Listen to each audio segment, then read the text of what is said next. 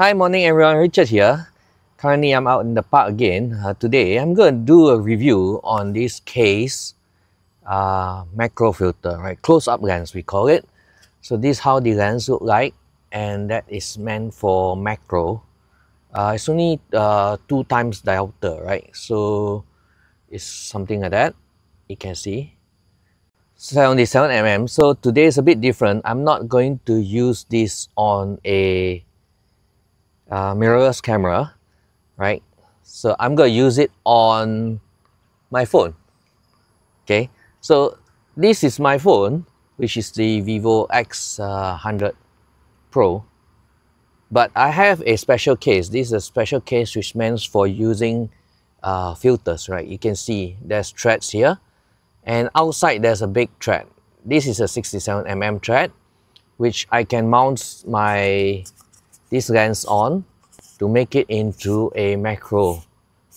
So the phone does have a macro itself but the difference is for the phone if you use the macro function or the tele lens function to zoom in it's shooting at 12 megapixels right but I don't want to shoot at 12 megapixels because this uh, camera has a 50 megapixel lens, right? So I want to use the full high resolution 50 megapixel lens, but that one doesn't have a macro function, right? Or it doesn't focus near enough. So that's why I want to use this Kase uh, macro close-up lens, which is to use it for macro. So I'm able to zoom in closer uh, to the subject and get a photo. So we shall try this out and I want to see how does this come out and uh, for the pictures for 50 megapixel okay don't compare with the standard 12 megapixel uh, macros from this phone. I want to shoot 50 megapixel. From there we want to see the image quality. At the same time uh, my ability to crop in from the 50 megapixel. So let's try this out. Okay I'm trying to go into this area. A bit darker. There's so no flash. Normally you shoot macro with flash, but because this is a phone, it's just a computational pro digital photos, right? So let's try to see if I can get any bugs from here. I can hear them, but uh, hopefully I can get some and uh, not feed the mosquito at the same time.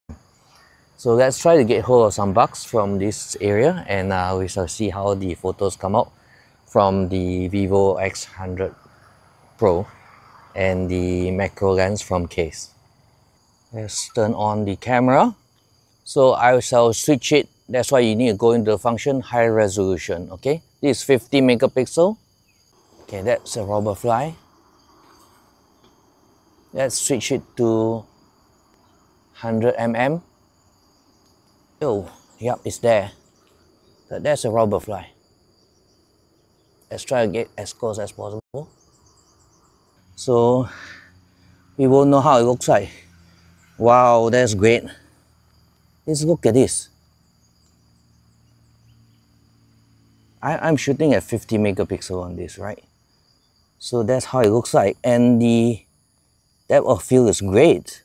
Look at the blur behind. Ouch, the mosquito is coming near. Let's try to get more close-up shots at the side view especially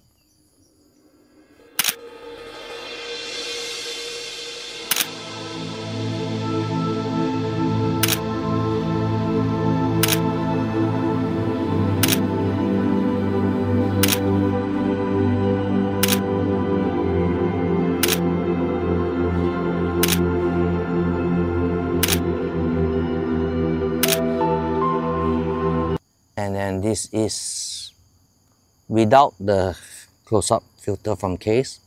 That's the closest it can focus.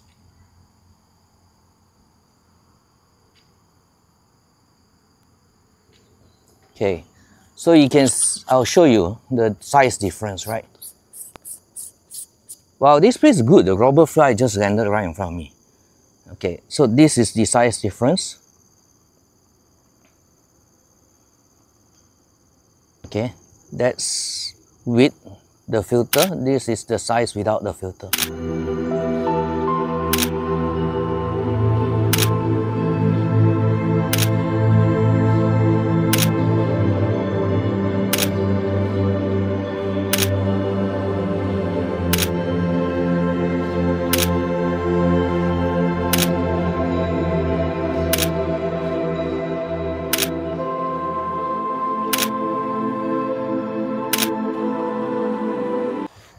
Okay, I hope you like the photos and the videos coming out from this uh, Vivo X100 Pro with the Kase uh, close-up filter, which is uh, actually a macro filter, two times uh, diopter. It, so I can use my 50 megapixel sensor.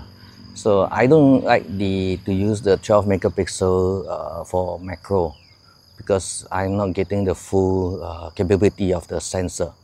Whereas the 12 megapixel is stacked together and it's processing highly processed image uh, in terms of when I'm shooting macro, right?